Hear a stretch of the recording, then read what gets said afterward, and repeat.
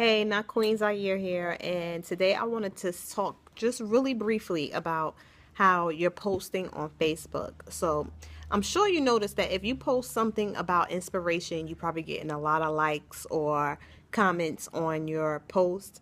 But when you post about your actual company, like the products that it sells and the name of the company. No one's interacting, no one's liking it. And that's because when you post about your company, it's actually a turnoff. People don't want to see information about your company.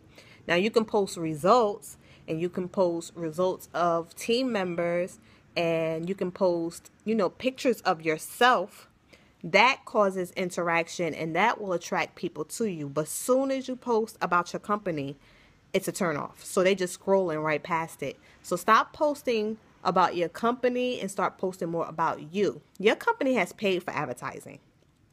They have millions and millions of reps advertising their business. So they don't need you to actually advertise. You need to advertise yourself. It's about branding you and what you're doing and how you're doing and how you're helping others. So start changing your posts to give value because posting pics of your product is not giving anyone any value.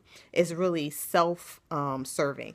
And people don't want self serving people, they want people who are trying to help them better their lives. So that's just a quick tip that I wanted to share with you today. This is Naqueen Zaire with I'm truly ready.com. I thank you for watching and I wish you much peace and blessings. If you want to learn more about how you should be marketing your business or for some personal development, then click the link in the um, description area and join my newsletter and I'll talk to you later. Peace.